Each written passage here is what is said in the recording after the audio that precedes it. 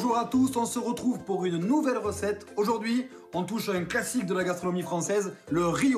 On va nous, un tout petit peu le retravailler avec de la mangue, car c'est le début de la saison des fruits exotiques, il faut en profiter. C'est parti pour la recette. Ce riz on va le cuire de manière traditionnelle, mais on va le rendre un tout petit peu onctueux avec une technique qui est d'ajouter une crème montée. Ça va le rendre beaucoup plus aérien et beaucoup plus onctueux. Et à côté de ça, en deuxième partie, on travaillera la mangue. D'abord, le riz.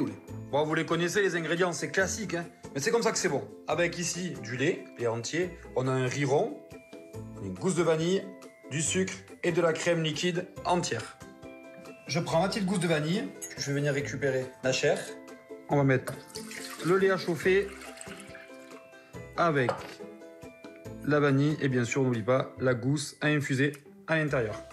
On monte à température à ébullition notre lait. On va ensuite hop, réduire comme ça euh, la température, on ajoute le riz et on laisse cuire au moins 40 minutes à petit feu et en remuant de temps en temps. Ouh, attention, je vois venir le sucre, on ne le met pas maintenant, le sucre c'est à la fin de la cuisson. Tout doucement, comme ça. On a le temps. Le riz au lait, ça se respecte. Notre riz est en train de cuire, on a le temps. Maintenant, on va préparer la garniture mangue. Pour cette garniture, j'ai besoin de deux mangues, j'ai besoin de sucre, citron vert et un peu d'eau. Super simple. D'abord, on épluche. Une des mangues, on va la garder. En plus, celle-ci, elle est bien parce qu'elle est mûre, mais reste quand même assez ferme. Et on va en faire une petite brunoise.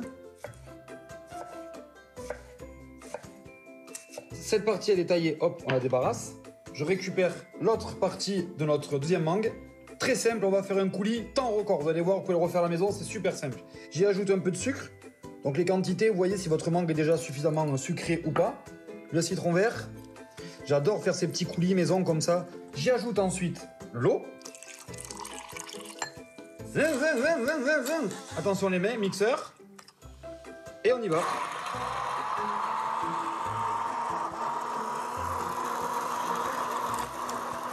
On aurait pu l'aromatiser aussi, pourquoi pas, avec un peu de gingembre, avec notre agrume.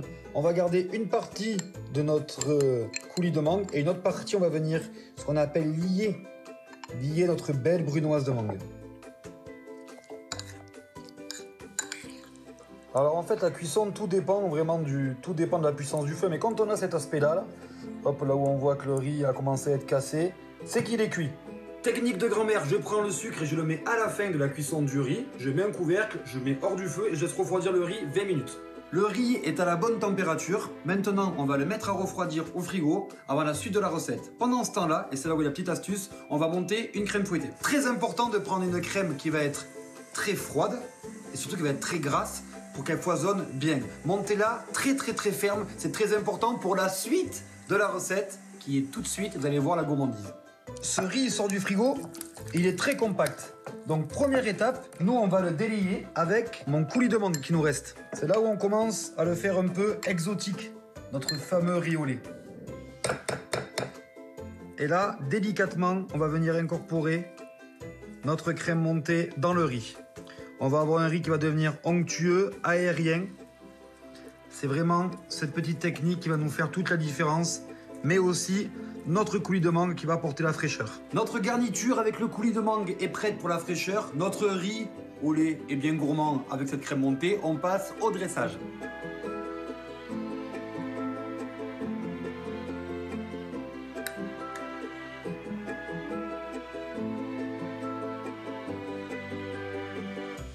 Le meilleur moment, la dégustation. J'adore ces plats, c'est réconfortant, c'est régressif et avec la mangue, ça ramène un peu de punch. On se retrouve une prochaine fois pour une prochaine recette. Ciao les copains